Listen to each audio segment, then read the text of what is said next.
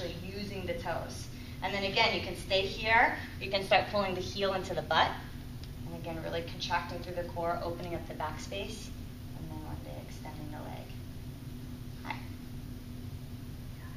And